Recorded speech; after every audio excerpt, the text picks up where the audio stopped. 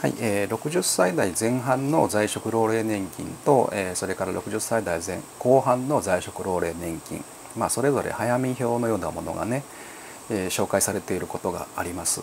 でこの2つの早見表なんですけれども、まあ、あの60歳代前半と60歳代、え、後半以降では在職時の支給停止額の計算に用いられる基準額がですねまあえーと、65歳までは28万円。それから65歳以降はですね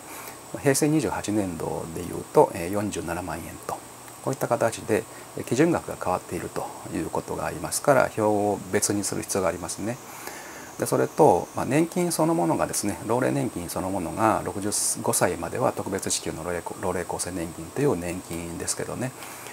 65歳からは老齢厚生年金と、えー、老齢基礎年金と、えーまあ、そういった形で65歳を境目としてですねこの報酬とか賞与と調整される、えー、対象になる年金が、まあえーと、変わってくると、えー、65歳までは特別支給の老齢厚生年金が、えー、調整の対象になりますし65歳からは、